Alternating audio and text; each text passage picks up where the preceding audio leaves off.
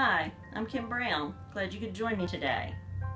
I spent the majority of my adult life making sure I was unaware of my thoughts and emotions. I believed ignorance was bliss. There were a few things I felt certain I knew about myself, though. I was not an emotional eater, nor was I a binge eater, nor did I eat based on any program other than the fact that I simply enjoyed food.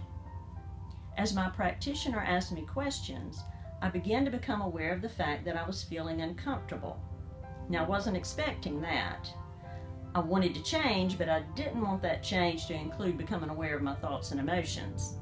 I wanted my world, the things and people in it to change, but not me. One of the reasons for the questions was to help my practitioner see my pattern or program, but the questions also helped me. They helped me learn to consciously think and to discover the subconscious patterns of thought responsible for my choices. That is where behavior is changed. I learned that I associated some foods with loved ones, so I wanted extra helpings of those dishes. I learned that I ate just to make sure I didn't get hungry at an inconvenient time.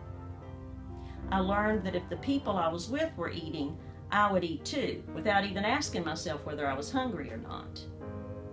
And I learned that I was an emotional eater. Even though consciously I had been unaware of it, my subconscious was always alert, and at the first hint of hopelessness, it would send me on a quest to find comfort in chocolate and in Coca Cola.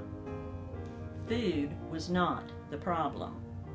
Avoiding potato salad or brownies never changed the associations I attached with them, nor did it change the subconscious thoughts behind those attachments. My problem was my thoughts.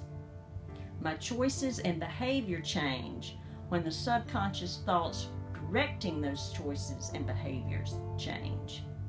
And that's what using Faster EFT does.